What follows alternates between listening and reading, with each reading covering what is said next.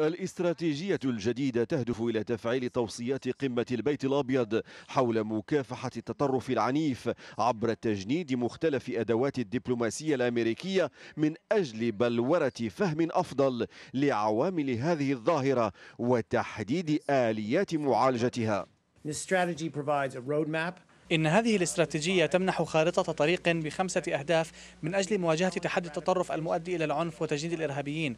سوف تعمل وزارة الخارجية والوكالة الأمريكية للمساعدات الدولية بشكل وثيق مع شركاء دوليين من أجل تحقيق هذه الأهداف عبر توظيف أدوات تشمل الدبلوماسية والتنمية والمساعدات الأجنبية. الاستراتيجية التي وضعت بتنسيق بين وزارة الخارجية والوكالة الأمريكية للمساعدات الدولية تركز على خمس جبهات في مكافحة التطرف.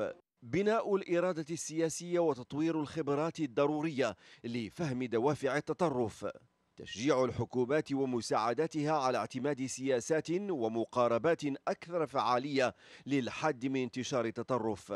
توظيف المساعدة الدولية وبرامج التنمية لخفض حدة العوامل الاقتصادية والاجتماعية والسياسية التي تساهم في دعم بعض المجتمعات للتطرف. تمكين الأصوات المعتدلة الجديرة بالتصديق لتغيير الانطباعات حول المجموعات المتطرفة. تعزيز قدرات الحكومات والمنظمات غير الحكومية على إعادة تأهيل وإدماج الأشخاص العالقين في دائرة التطرف والعنف. عملية تركز في مجملها على تدريب مسؤولي السجون التي باتت أرضا خصبة في عدد من الدول لتجنيد مقاتلين محتملين من طرف تنظيمات إرهابية. غير أن نجاح الاستراتيجية لا يتوقف على مدى جدية الشركاء الدوليين فحسب بل يتطلب أيضا بناء الثقة مع المجتمعات المعنية. إن هذه البرامج التي تقودها الولايات المتحدة لم تكلل بالنجاح لأن هناك انطباعا في الشرق الأوسط بأن هذه الجهود ليست صادقة إضافة إلى الشكوك التي خلفها التدخل الأمريكي في المنطقة والتي لا تزال تساور الناس حول رسائلها بشأن التطرف. ورغم التحديات تسعى إدارة أوباما إلى تطوير مقاربات قابلة للتأقلم مع دوافع الإرهاب المتغيرة عبر تعقب ورصد مؤشرات التطرف في مراحل مبكرة.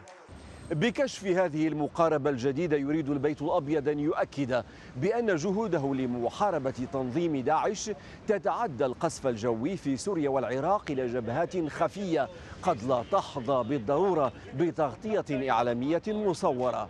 هشام مرار الحرة واشنطن